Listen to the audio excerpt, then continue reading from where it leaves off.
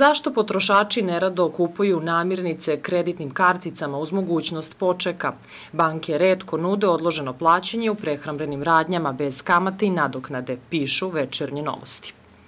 Nijedna kartica ne može da zameni ček na odloženo u kupovini hrane u Srbiji, dok čekovima bez dinara kamate i bez bilo kakvih dodatnih troškova može da se plaća na odloženo i do 12 meseci u prodavnicama prehrane plastičnim novcem, dok čekovima bez dinara kamate i bez bilo kakvih dodatnih troškova može da se plaća na odloženo i do 12 meseci u prodavnicama prehrane plastičnim novcem, moguće je odložiti naplatu svega 30 do 45 dana. Svaki rok duži od toga podrazumeva dodatnu naknadu, bilo da je reč o mesečnoj kamati ili jednokratnom nametu koji iznosi najmanje 500 dinara.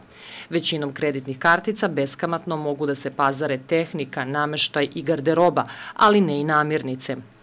Tako se dešava svojevrsni paradoks da cipele na sniženju koje koštaju 3000 dinara potrošač može da plati karticom na 3, a negde i na više rata, bez kamate i naknade pazar u prehrambenoj prodavnici pak od 5000 dinara, ukoliko podeli na rate prilikom plaćanja istom karticom, može da ga košta i 10 od 100 više, 5500 dinara.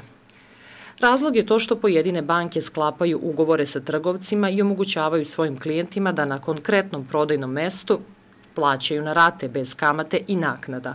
Nažalost, na spisku ovih trgovaca nema prehrambenih prodavnica. Trgovci potvrđuju da iz godine u godinu raste učešće platnih kartica u njihovim pazarima. Ipak, kada je reč o plaćanju na odloženo, priča se vraća na čekove, iako oni čine tek 2 do 3 odsto ukupnog pazara.